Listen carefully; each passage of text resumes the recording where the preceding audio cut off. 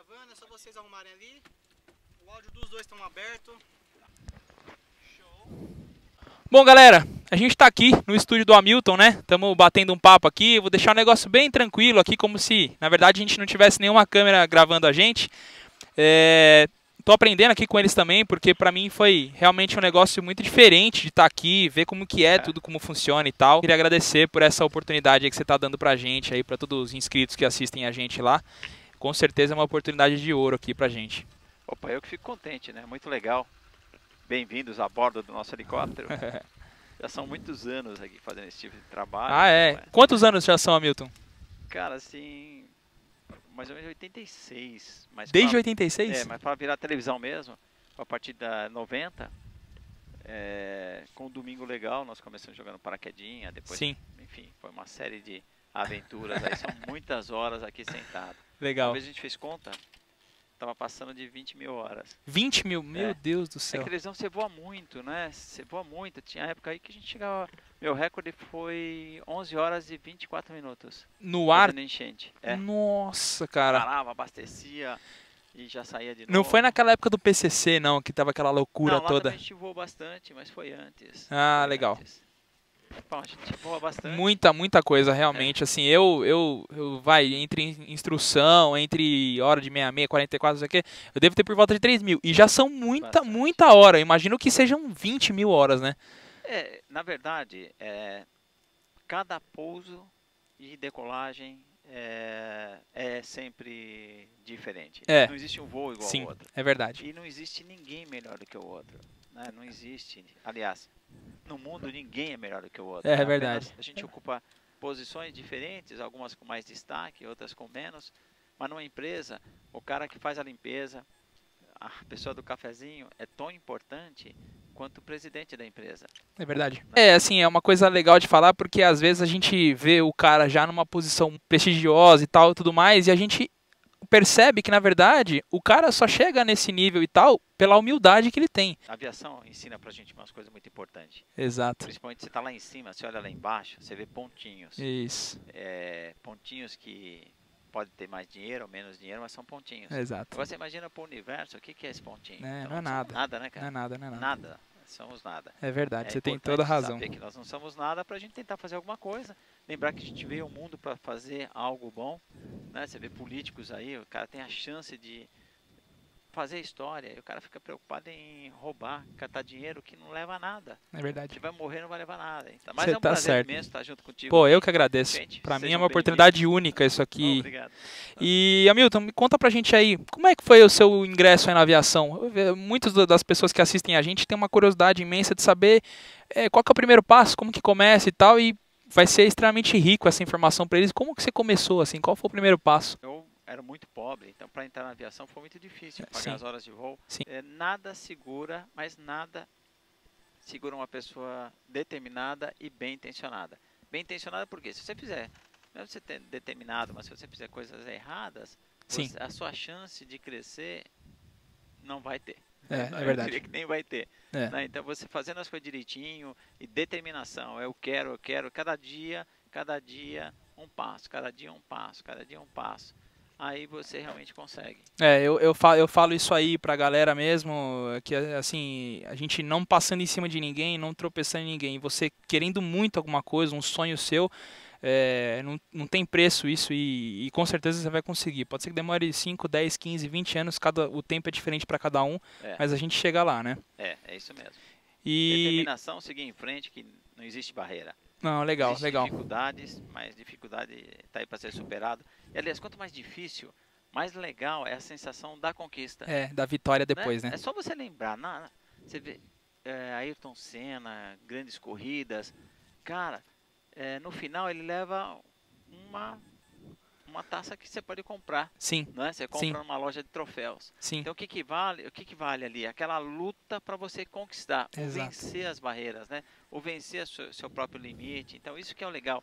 É esse aprendizado que é legal. Então quer dizer, mesmo quando você chega quer falar, pô, eu consegui, hoje eu sou piloto, mas o importante é a história, o que, que você Isso. fez atrás para ser isso. Isso é o legal, a Os- base do Os né? degraus que você, que você veio escalando, né? A É, isso você falou de, você mencionou o Ayrton Senna, né? É, Pra mim, quem, quem me conhece aí sabe que o Ayrton Senna, pra mim, acho que o maior ídolo que eu tenho na minha vida é o Ayrton Senna, por tudo que ele fez, não só como piloto, mas como ele, como ele foi como pessoa, né? né? É, ele, era- ele guardava o helicóptero no mesmo lugar que, que a gente lá no Campo de Marte, então às vezes você cruzava com ele.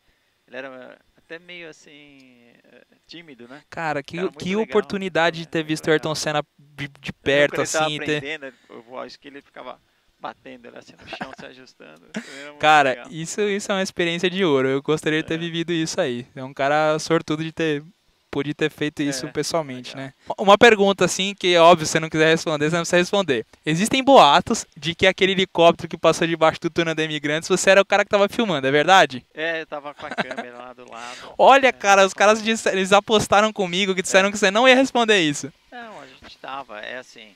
Eu acho que é uma coisa que eu aprendi com os americanos. No começo, a gente acabou fazendo muita besteira, né? É, Os brasileiros têm muita habilidade com máquinas, né? Sim, sim. Sempre foram muito elogiados em vários países, né? É, pô, cara, fiz tudo direitinho, pô, o cara elogiou, o cara gostou pra caramba. Ele falou, ah, fizemos tudo, não tem mais o que fazer, se quiser fazer alguma coisa.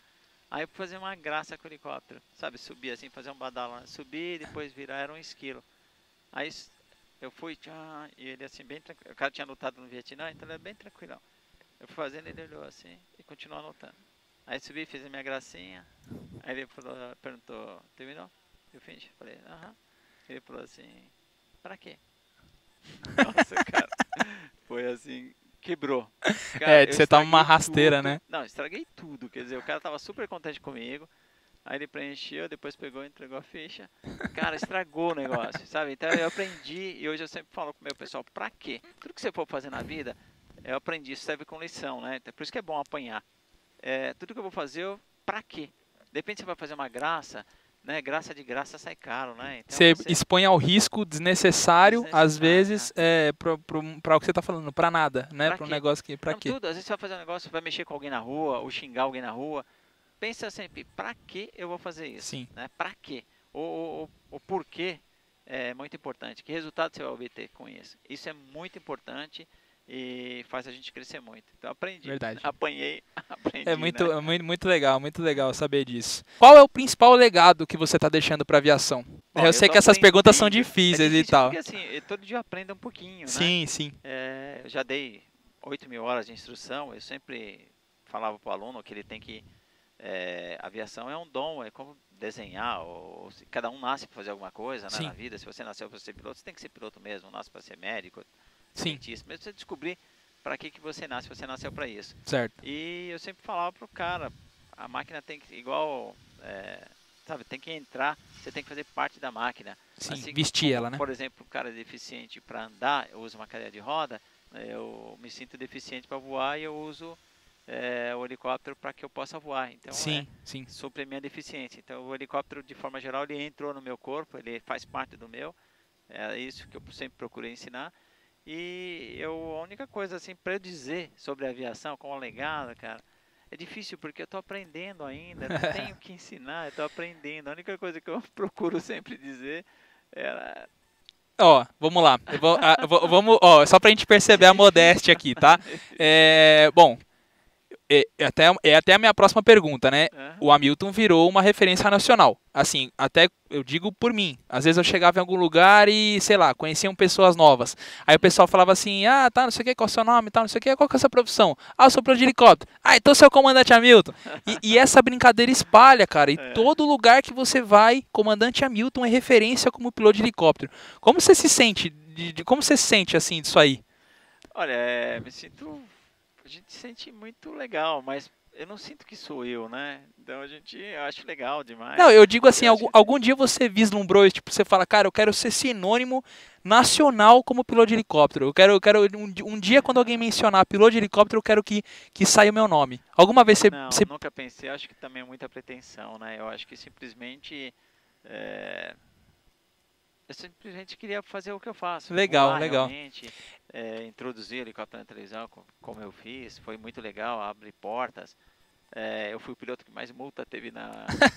é até uma história legal que eu fiquei sabendo recentemente, né? Eu- a gente conversou aqui um pouquinho, ele se apresentou um pouquinho antes, ele comentou sobre essas multas, né? Que você sofreu, assim, digamos, Nossa. muitos obstáculos para você conseguir exercer a função do jeito que ela é hoje, né? Nossa, é, eles achavam que helicóptero não era para televisão, até chamavam que era o Bozo, o palhaço da aviação.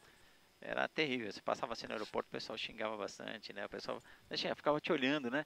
Mas depois entenderam a importância do helicóptero na televisão, né? E hoje o helicóptero é Você vê? fundamental na televisão. A gente está aqui sentado do lado, o helicóptero da Band está do lado, É. tem vários outros, tem Globo e assim, agiliza absurdamente as, as notícias, né? Hoje a gente vive num mundo compartilhado e muitas vezes as pessoas não conseguem ter essa visão. Então é, é muito importante ter essa visão, né? Essa visão de, de conseguir entender que, que esse equipamento poderia servir para um negócio desse. E você vê, o cara tomou bordoada, tomou Nossa, cacetada para Nem me fala.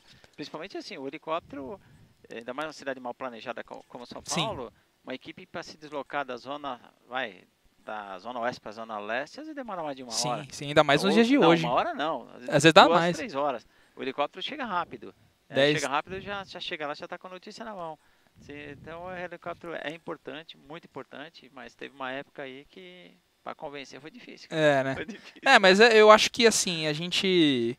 Eu, eu já falei isso em outro episódio e eu volto a falar, né?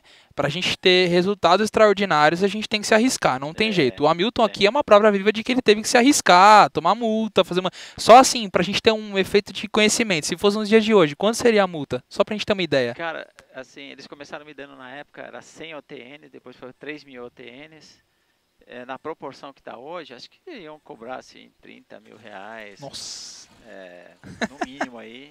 Aí Por 30, multa. 30 do piloto, 30 da aeronave. Tá, então, só pra gente brincar aqui, tá? Seriam Cara, 30 mil pra cá, 30 mil pra máquina, 60 mil a brincadeira. Era difícil pagar essa multa, cara. Era muito difícil. Era muito difícil. Bem É. o pessoal me ajudava. É, é hoje, só pra gente ter feito de conhecimento, 30 mil daria pra fazer um PP, mais ou menos, e até um É. pouco mais, né? Um piloto privado de piloto de helicóptero. Então, imagina se eu tomar uma multa que era um piloto privado aqui, mas um piloto privado lá tem que estar ganhando um rio de dinheiro, né? Que... Era bastante. A gente. Eu lembro que era bastante. Quando for pra 3 mil falei, nossa. Legal. 3 mil pro piloto, 3 pra. Legal. E outra coisa que eu queria abordar com você, Hamilton, é o seguinte: eu tenho uma máquina acionando do nosso lado aqui, mas É, nem não, vai, nem vai vai. Como que foi essa trajetória sua entre você pegar, ingressar na aviação e trabalhar com filmagem, depois você virou piloto e hoje você, teoricamente, você evoluiu para um empresário, porque hoje você administra todo um, um sistema que vai para televisão, você tem uma equipe junto com você e tudo mais, né? Como é, como é que funciona isso aí? Bom, foi uma evolução, né? Sim. Eu estava na parte de entretenimento, aí senti que o jornalismo era importante. Fui fazer faculdade de jornalismo, né? Uhum. Eu fui, inclusive teve uma época aí que veio, veio o pessoal da Alemanha, veio o pessoal da Austrália e mais um país veio fazer entrevista comigo porque eu fui o primeiro piloto a, não sei se tem hoje, mas eu era o único piloto jornalista no mundo. né? Caraca, Então cara. eu vim Olha, você vê uma coisa que eu não sabia. É pioneirismo total, né? É, aqui, eu não sei se é, dá, dá para vocês terem uma ideia, mas, por exemplo, aqui a gente tem é, dois LCDs, né? Aqui mostra o que É. está passando na programação da TV, né? E aqui essa câmera frontal nossa, Sim. que a gente está batendo papo aqui. Aí tem toda a caixa de áudio, tem o, por exemplo, aqui o Caixa repórter, pelo pouco que eu descobri, o repórter Isso, pode usar o PTT aqui também. Então assim, Cara, cabe lotado de equipamento. Lotado, câmeras né? Atrás. É uma estação de TV. é exatamente. Gera conteúdo. É, um- é um estúdio mesmo, isso aqui é um É. estúdio de TV que voa. de tra- Fórmula 1, né? Cheio de É, cheio de coisa Muito-. Muito legal. É, inclusive, talvez seja até um próximo episódio pra gente falar aí, né? te Mostrar, apresentar como que é uma máquina news e tal. Até Aham. conversei com os meninos, eles disseram que até ajudariam. Cara, eu não tenho palavras pra agradecer essa atenção que você deu pra gente. Assim, eu vejo. é, às vezes parece besteira pra nós, né? Cara, essa entrevista que você deu aqui, alguém vai assistir lá Opa. e vai ser extremamente impactado porque ele vai falar, cara, olha, olha esse espelho, eu quero ser isso. Aí o cara obrigado. busca a vida inteira, né, é, de, de, de se tornar um cara que seja referência como você. Então é, é- é muito importante a gente ter esse contato e assim, eu não tenho palavras para agradecer Não, esse- essa abertura que você deu pra Eu que gente. agradeço, acho que é importante, principalmente os pilotos serem unidos. Sim, A gente tem que sempre ser unido mesmo, sabe? É, Ser fortalecer, mais- né? Médico, médico, não é? sim, Médico não fala mal de outro médico, então a gente tem que um elogiar o outro, falar bem do outro. Tem que ser uma corrente para frente. Certo. Né? É, um sempre, a conspiração tem que ser conspiração boa em favor do, do, do todo, né? Do É uma conteúdo. uma corrente do bem, assim, digamos, né? Exatamente. Então tem que realmente dar uma força, tem que se preocupar com o outro. Quando você é, é lei da natureza. Quando você ajuda, você é ajudado. Sim, É impressionante. Se você dá uma força, uma força, você recebe muito mais do que você deu. é verdade. essa lei da troca é importante. Lembrando que nós não somos ninguém, nós viemos ao mundo sem nada e vamos voltar sem nada. É O verdade. que fica é o que a gente constrói. Então, vamos construir coisa boa, mesmo na aviação, se você quer ser piloto de helicóptero, não é fácil. Não é fácil, mas aí é que é o bom. Né? Quanto mais difícil, melhor é lá na frente. Sim, Vale a pena, vale a pena cada sacrifício. Tem hora que você fala, nossa, eu não vou conseguir. Vai conseguir sim, você tem que acreditar. sim, Né? E tem que lembrar que sempre, cara, o maior inimigo nosso está dentro da gente. é verdade. Você quer ver? Você faz brincadeira, fala assim, ó, hoje eu não vou tomar refrigerante essa semana. Qualquer coisinha, você vai ver o desespero que dá. É verdade. Então, é dentro da gente. Você tem que resolver o problema interno seu, aí o resto aparece. É verdade. Você tem que resolver, tem que resolver você. E parar de pôr culpa no mundo, né? Ah, não consigo isso porque fulano, porque o mundo, porque o Brasil não sei o quê. Meu, resolve você. É, Mesmo é, no deserto, você vê que, pô, Israel, no meio daquele negócio lá, é o melhor país do mundo, né? Sim. Em tecnologia, agricultura, os caras têm tudo. Ou seja, o ser humano faz coisas. Então você tem que fazer coisa. Meu, o que você quiser, você consegue. Veja lá, plane... faça um planejamento do que você quer. Já começa a colar na parede. Se eu quero ser piloto de helicóptero, já bota helicóptero na parede, já começa a desenha, escreve, lê aquilo projeto, todo né? dia, fala, faz É, uma então- programação neurolinguística pra você, né? e senta o pau vai embora. Também se você, eu quero ser engenheiro, a mesma coisa. Não Isso aí. importa a profissão, todas as Exato. profissões são importantes. Ninguém é melhor que ninguém, né? Todos somos muito importantes. Hoje em dia tá aqui esse canal? Esse canal já mostra o, o que é isso. Antigamente só aparecia na TV, nas telinhas, É, os grandes artistas. Hoje qualquer um, cara. É, Qualquer hoje a um, gente do tem a. facilidade, né, de, de, de poder talvez expressar um mundo diferente, assim, a galera até brinca, né, eu falo muito de aviação aqui, mas o canal basicamente é falar do lifestyle do Vitor, né, as coisas que ele faz, o, o carro que ele gosta, a viagem que ele foi fazer e tal, e é justamente para passar um pouco mais do nosso mundo, e hoje a gente tem essa oportunidade de passar, né, você tem uma exposição muito grande porque você tá na TV e tal, mas não é todo mundo que tem a oportunidade de estar na TV, então hoje a gente tem várias coisas e o que o Hamilton disse...